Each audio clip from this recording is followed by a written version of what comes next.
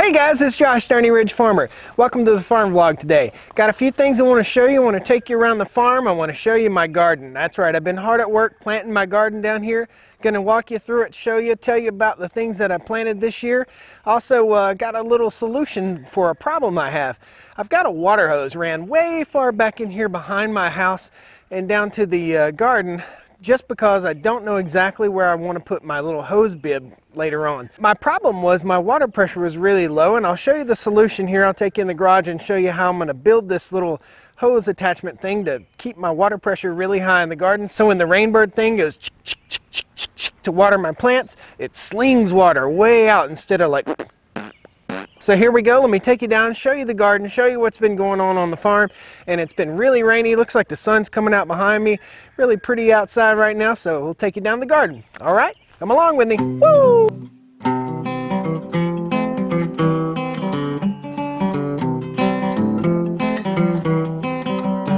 Stoney Ridge. Guys, we got a new addition to the Stoney Ridge Farm family. My mother gave me something very cute, very sweet, and very neat. Check it out. Ducky duckies. hey guys. What's going on guys? So about two days ago, my mom calls me and says, hey, I got some ducks. Just so happens, the mobile coop is empty now because we've got all the chickens in the freezer. So mobile ducks into the coop. I don't know what to name them, so I want you guys to name them. That's a male duck and a female duck. So give me some good names for my duckies. Here is the garden. This is the garden for this year. Now let me point and show you what I've got. Right here is a flower garden. This has clover and different types of wildflowers in it. And then up here I'll show you, those are potatoes. I've got rows of tomatoes, another row of tomatoes, squash, Back here I have my cantaloupes and my watermelons planted and we're going to do corn way back over here. Guys, if you look down the rows here in the garden, I basically did raised beds kind of in the garden. I took my tractor and I drove through here and I made tracks. Real, really heavy tracks so I would have a walking path and also a place for water to puddle. I was having a big time issue with water puddling up in the uh, garden and you can see right here I've got some water puddling and it's been raining for probably I'm gonna say a good two and a half hours. And most of the water has migrated to my little puddle areas right here versus drowning my plants. So that's pretty awesome. Right here this is all row of squash these will be all tomatoes, and that's tomatoes, and we've got about 140 tomato plants. Also, this is a half a row of squash, and then on the other end, I have my uh, kale and uh, a couple different types of lettuces, and we'll take you down and show you those. And right here is my watermelon and uh, cantaloupe patch. So here's the orchard, guys. The orchard's looking really good this year. I've got my fence up, but I don't have it energized, and I'll show you the fence. This is my deer fence right here, and it's a specific setup uh, where I have three strands in a specific manner. There's a video I made about the perfect deer fence, and this is the perfect deer fence. It keeps the deer out of the orchard. So here are the honeybees, and they're pretty close to the garden. I didn't want to aim the hive directly at the garden, just because I didn't want bees flying in my face all the time, but as you can see, the bees are in pretty close proximity to the garden right here. So right here, guys, I got some pretty awesome lettuce coming up. I planted these from uh, plants that I got from the store from Lowe's and then we're gonna do our own little row of lettuce by seed right here and I also have some kale right out at the end of this row. This is our cabbage. It's kind of getting worms in it. I'm not spraying though. Uh, here is our broccoli and our cauliflower and it's starting to get little heads on it right now too and also the chickens. So guys, since we last came down here, our chickens have really started laying. Our uh, baby birds have started laying and they're laying all over the coop, as you can see. Right here's one, and we'll move this into the egg box right here. Basically, we're putting eggs in the egg boxes here to try and entice the uh, new baby birds that are laying to uh, lay into the egg boxes. They're doing pretty good. You guys got a little water in there too, huh? I'm not to worry about watering the chickens today.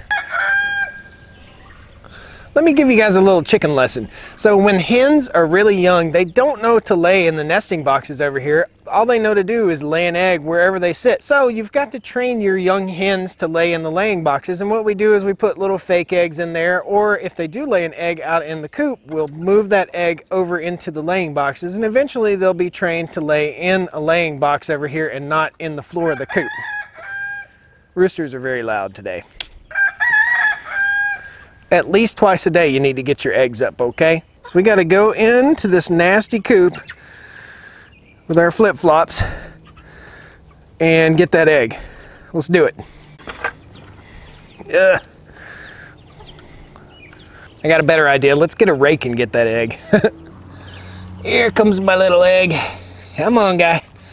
Come on, little guy. Gotcha. For all you purists out there, I'm not going to eat that egg, okay? An eggshell is a semi-permeable membrane, and I am not going to allow myself to eat chicken poop if I can help it. So let's check out the water hose. Let me show you what I'm talking about for a pressure problem. The water hose hole is huge, but the hole to the little splitter that allows me to split to three and four different water hoses is not huge. So what I'm gonna do down here at the garden is hook that hose up right there, over here inside the garden and I'm to put huge ball valves on there, three quarter inch ball valves on there. That way I don't lose water pressure and I get the full effect of my well pump shooting water out. I'll take you in the garage, we'll show you how we build this contraption. Guys, I can't tell you how happy I am that it's finally spring. Look back here. Everything is just turning really green and beautiful. I'm so happy to have you guys to take you along with me to show you what's going on on the farm. Hopefully you learn a little something, you have a little bit of fun along the way, and we build some stuff together. We do some stuff. Subscribe to the channel, guys. If you're not already subscribed, give me some thumbs up. Give me some feedback. Let me know. Let me know what you want to see. Give me some comments. What do you want to see? What do you want me to show you?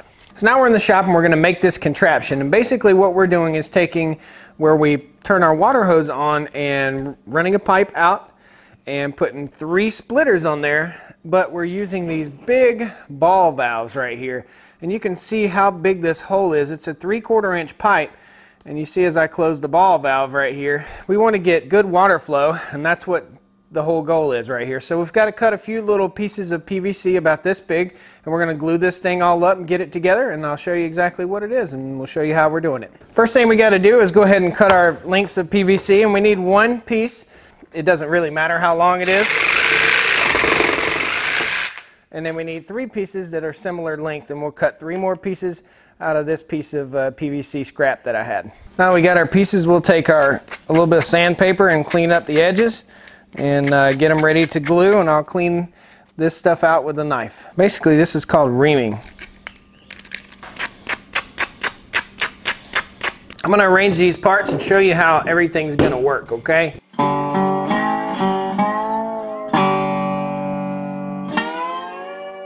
So here's all of our parts. I'll explain to you the gist of it. Basically water goes in here and goes through these three splitters and I have three valves to control everything and these are fittings that fit the PVC pipe and they go to uh, water hose size. So we're gonna slap all this together and show you what it looks like at the end. So as I put all this together, I'm gonna make sure that I have everything nice and primed with PVC primer and then we're using some clear PVC glue. So we'll go ahead and start putting everything together here, okay?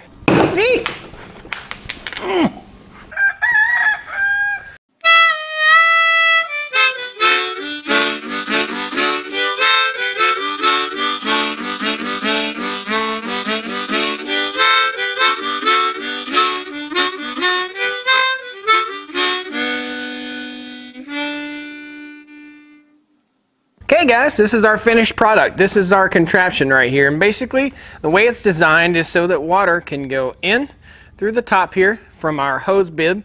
And I have three valves to control the water. I'm not going to turn the valves right now because the glue is still drying. But basically, I got all these parts at my local uh, hardware store. And uh, we made this contraption that's going to allow water pressure to be higher down at the garden. And we run a hose basically I'm going to say it's 500 feet all the way from our hose bib down to the garden. This is a temporary thing. Eventually we'll put a hose bib down at the garden, but until then, this is what we're going to use to keep our water pressure up. And we have huge ball valves in here that's going to allow the full three quarter inch water hose or whatever size of water hose. I use big commercial water hoses, so allow the full amount of water to come down through there. So anyway, guys, that's it for the vlog today. Don't forget to give me a thumbs up give me a comment, give me suggestions. If you got any suggestions about this kind of stuff, let me know. I'm always open for any kind of suggestion. If you got a video or something that you want to see me do or anything like that on the farm, give me give me some uh, suggestions. Give me some comments, guys. Leave me some thumbs up. I appreciate you. Don't forget to subscribe to the channel if you're not already subscribed.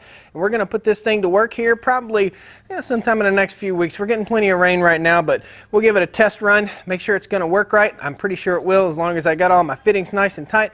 So that's it. Thanks for watching the vlog, guys. Come on back and see me. All right. We'll come down to the Stoney Ridge. Bring your wife and bring your kids.